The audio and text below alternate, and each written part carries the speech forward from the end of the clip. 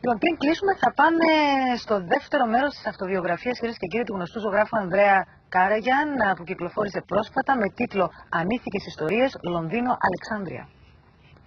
Ανήθικες ιστορίες Λονδίνο Αλεξάνδρεια είναι ο τίτλος του νέου βιβλίου που κυκλοφόρησε Ανδρέα Καραγιάν. Είναι ουσιαστικά η συνέχεια του βιβλίου που εξέδωσες πριν από δύο-τρία χρόνια με τίτλο Αληθής Ιστορία. Ακριβώς Μαρία μου, έχεις απόλυτο δίκιο. Ε, το πρώτο μέρος του βιβλίου λέγεται η αληθής ιστορία. Τώρα το δεύτερο μέρος είναι οι ανήθικες ιστορίες. Τώρα τι ιστορίες θα είναι το τρίτο, ακριβώς ακόμη δεν γνωρίζω. Το πρώτο μέρος ε, ήταν, βασικά είναι βιογραφικό το βιβλίο, αλλά ο ήρωας του, του βιβλίου έχει τη δική του οντότητα. Δηλαδή, ναι μεν είμαι εγώ, σε εισαγωγικά, αλλά επίσης ε, έχει και τη δική του, ε, να σου πω, ε, προσπάθεια να ανακαλύψει τον εαυτό του μέσα από τις διάφορες καταστάσεις που του συμβαίνουν. Το πρώτο μέρος αφορά τις περιπέτειες του ήρωας στην Κύπρο του 1950 και δει στη Λευκοσία του 1950 σε μια κοινωνία που είναι αρκετά κλειστή αλλά επίσης και διαφορετική κοινωνία από τη σημερινή γιατί μην ξεχνάμε ότι ζούμε στην Αγγλοκρατία και η μεσαία τάξη πραγματικά έχερε αρκετές, ε, ε, πώς να σου πω, χάρες ε, με τα πάρτι, με τα μπαλμασκές, το Λίδρα Πάλας, για μένα ήταν η Belle Époque της Λευκοσίας.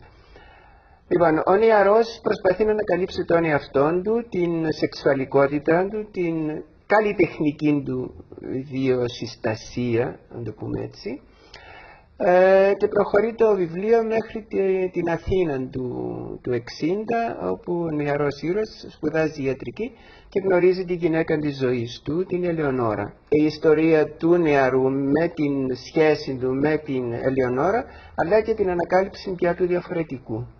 Γιατί ένα σημαντικό στοιχείο του βιβλίου είναι ακριβώς αυτό το διαφορετικό. Το να είσαι διαφορετικός από τους άλλους και πνευματικά και σεξουαλικά και σε οποιαδήποτε διάσταση να διαφέρεις από το, το, το αποδεχτόν, το κοινός αποδεχτόν, από το ας πούμε το, το, το ρόλο που θέλουν να σου καθορίσουν μέσα σε μια κοινωνία.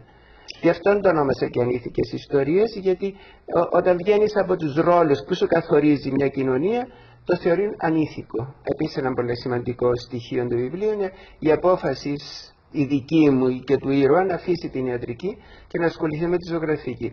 Περιγράφει βασικά την εποχή του Λονδίνου το 70, την εποχή των παιδιών των λουλουδιών που ε, τα, τα στεγανά πρότυπα τα είχαμε απορρίψει όλοι. Και πού τελειώνει αυτό το δεύτερο μέρος, αυτό το, το δεύτερο, το δεύτερο μέρος τελειώνει με, το, με τον την απόφαση του ήρωα να, να ανακαλύψει το δικό του γι' αυτό, να ξεφύγει δηλαδή από την ομπρέλα της προστασίας των γυναικών που μέχρι τότε τον, τον, βρίσκονταν κάτω, κάτω από τη σκιά των γυναικών, της μητέρας του, της ε, Λεωνόρας, της, τη δικιά του, οτιδήποτε και να ανακαλύψει πια το δικό του αυτό εάν, εάν δεν, ο ήρωας αν δεν βρισκόταν στην Αγγλία ίσως να μην έπαιρνε και τις αποφάσεις που επήρε ίσως αν έμενε στην Ελλάδα ή στην Κύπρο να ακολουθούσε την πεπατημένη ο τίτλος του βιβλίου είναι Ανήθικες Ιστορίες. Υπάρχει ένας υπότιτλος Λονδίνο Αλεξάνδρεια. Σε ποιο σημείο θα βρούμε τον ήρωα στην Αλεξάνδρεια, Θα το βρούμε στη σημερινή εποχή, το 2007.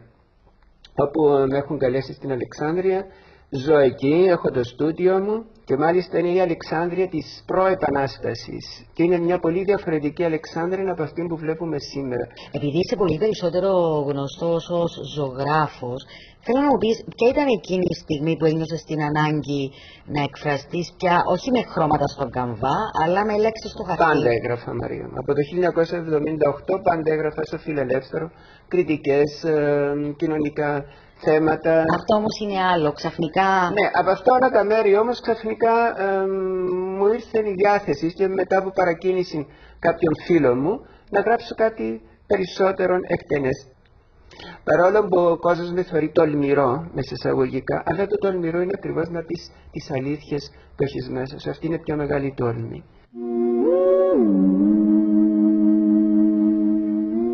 Ωραία, αυτά είχαμε για σας σήμερα. Σας ευχαριστούμε πάρα πολύ που μας παρακολουθήσατε και θα τα πούμε πάλι αύριο στις 5.30 το ενδέχον θα είναι κοντά σας στο Ρικένα. Καλό βράδυ. Thank you.